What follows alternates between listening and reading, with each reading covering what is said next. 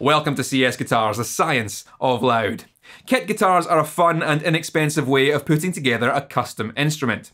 Whether you want a fully functional guitar or just an interesting art project will take different amounts of work and you will have to bring some of your own tools, skills and materials to the table, but assembling your own guitar and getting to choose how it's going to look can be a very rewarding activity.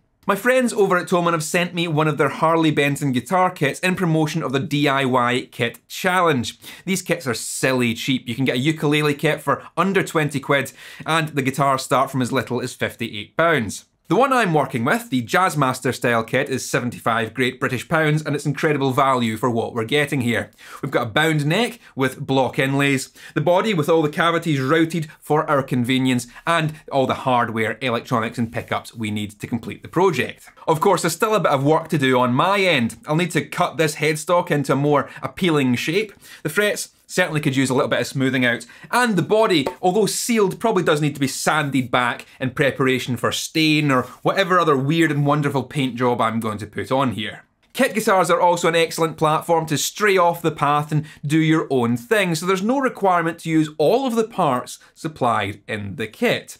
I've got a bunch of other parts that I've brought in here, many of them from alegree.co.uk who do very high quality electronics and pickups for guitars, as well as some hardware parts like bridges and pick guards. All of these parts will allow me some options to try fun things and hopefully come out of the end of this with a very interesting guitar.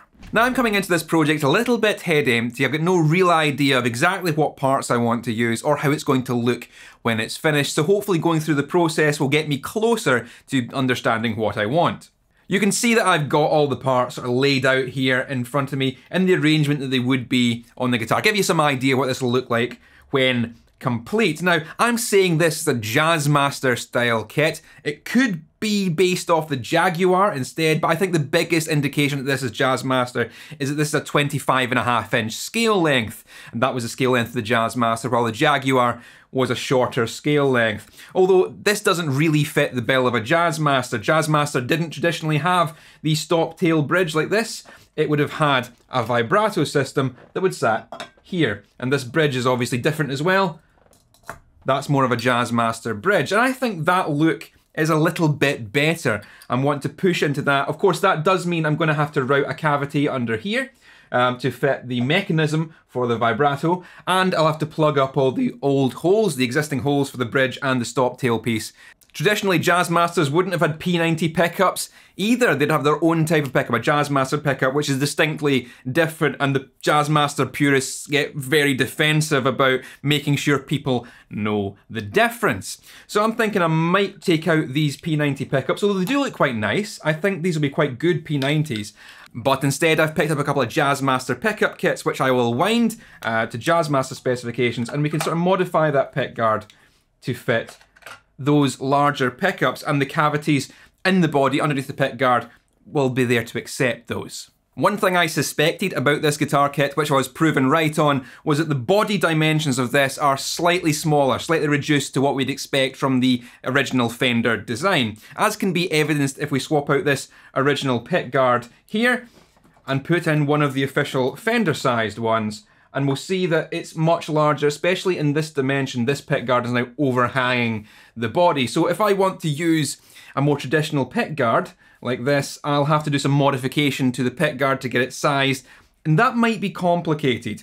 So it may be a more sensible option to use the original pick guard and change how it looks a little bit because this is supposed to be tortoiseshell, but it's not real tortoiseshell. It's just an image of tortoiseshell printed on a pick guard, and I think we can do better. I certainly do like the flat black look of this uh, Fender pick guard, so um, we might find a way to change how that pick guard looks, as well as adapt it for the larger style pickups. And once all of those considerations have been taken care of, I'll need to turn my attention to the body itself and consider what kind of finish I want to put on here.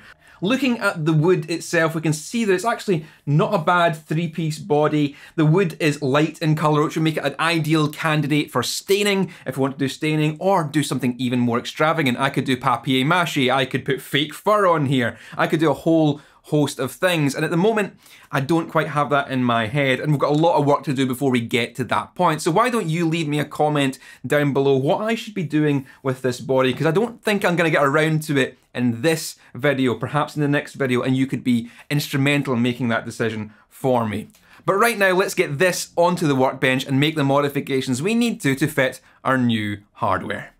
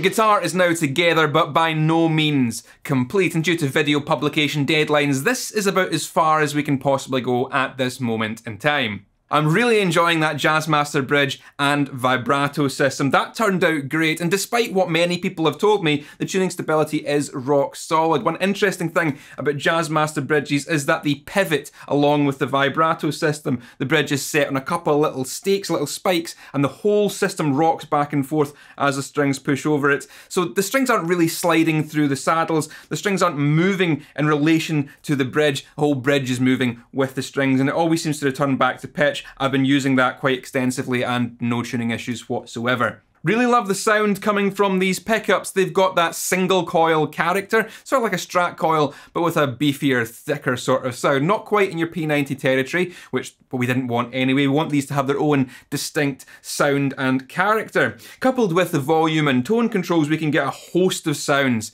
out of these, backing down the gain, backing down the amount of treble in there, really darkening up the sound. We've got a large capacitor on that tone pot so we can get a lot of range on the tone control and that means we don't have to worry about missing out the uh, the weird control system that the Jazzmasters usually have that darkens the sound for rhythm playing. We can do all that from the standard tone control and get a suite of sounds and you'll hear that in a few quick sound examples. There's a lot of range here for going from dirty to cleaning it up by backing down the volume control, removing some treble and really smoothing things out and getting those jazzier sort of sounds.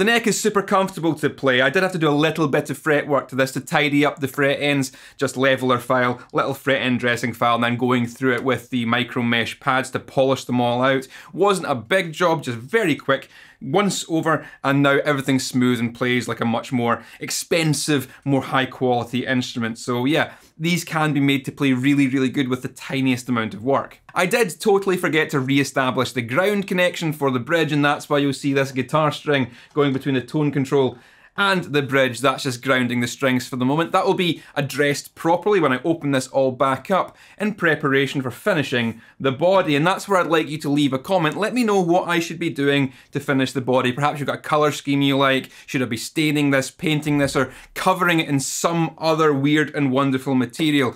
Please do leave a comment. My head's churning with ideas, but maybe you can help me narrow it down. If you've been watching through this and thinking, hey, that looks like fun, I'd like to grab one of these kits and try something like this for myself, then links to all those kits will be in the description of this video. And if you want to check out more about the Thomann DIY Kit Challenge, then you can do so there as well. Grab a kit, they're very, very cheap, and have fun uh, assembling your own guitar and doing whatever modifications you would like. I'm going to be back with this in a few weeks' time. When it's completely finished, we'll be doing some stuff, we'll do a proper playthrough of it, so keep subscribed for that, and don't forget to click all the buttons you're supposed to to make this video viable to the ever-changing whims of the YouTube algorithm. That's all for now. Keep it loud and stay safe.